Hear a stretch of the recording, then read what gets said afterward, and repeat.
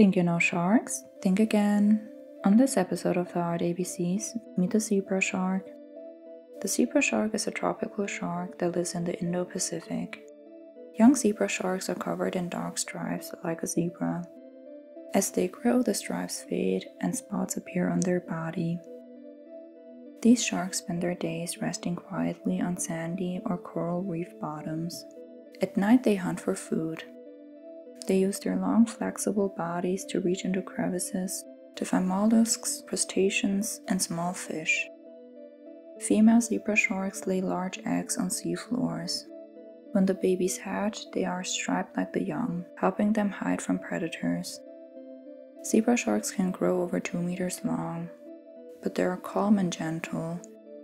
They are not dangerous to humans when left alone.